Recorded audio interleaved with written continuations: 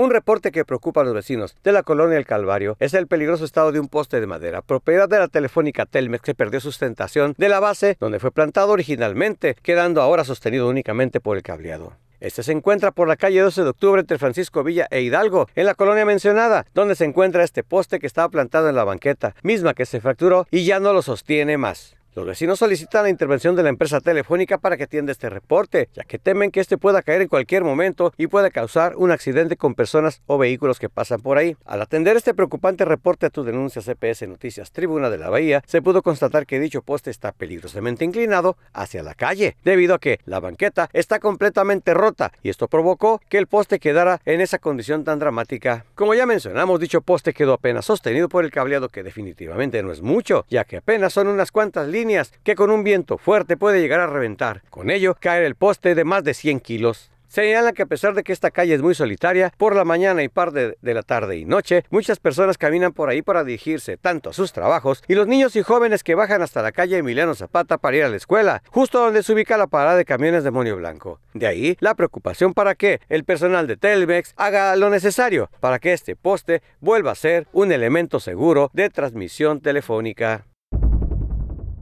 Con imágenes de Itziar Rodríguez para CPS Noticias, Alberto García.